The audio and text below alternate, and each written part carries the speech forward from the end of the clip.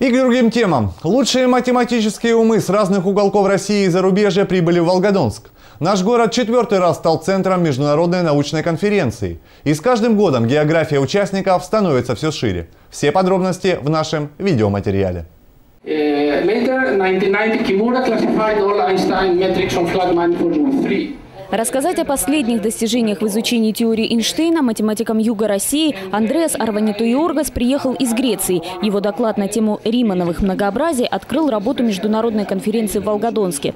Наш город уже в четвертый раз принимает научный форум такого уровня. И проходит он на базе Волгодонского института сервиса. То, что четыре года подряд город Волгодонск э, как бы принимает математиков э, страны и даже ближние зарубежья вот сегодня присутствует, это очень важно, потому что это значит, доверяют. И у нас не сильная математическая школа была, и то, что сейчас вот рождаются вот эти традиции, это, конечно, очень замечательно. Для новых предложений и обмена научными мнениями у участников конференции есть четыре дня. Всего же заявили свои доклады 146 человек. Не только со всех уголков России, но и ближнего и дальнего зарубежья.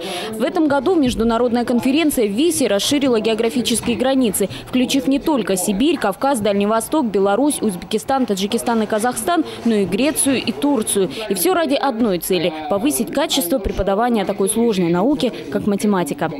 Там, где развивается наука, там качественное преподавание, там высококвалифицированные преподаватели. Поэтому цель конференции – это развитие математической науки и в то же время поднятие качества преподавания в ВУЗе.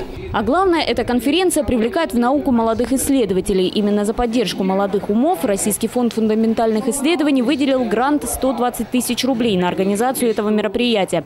И программа участников конференции насыщенная. Работа ведется сразу по пяти направлениям. Работают пять секций, и в каждой секции свои интересы. Там комплексный анализ, вещественный анализ, математическое моделирование, дифференциальные уравнения, информационные технологии. По каждой из областей работа будет проводиться 4 дня. Обогатившиеся новыми знаниями и поделившись своими, участники международной конференции разъедутся 8 июля. Лидия Шимко, Сергей Овчаренко. Новости ВТВ.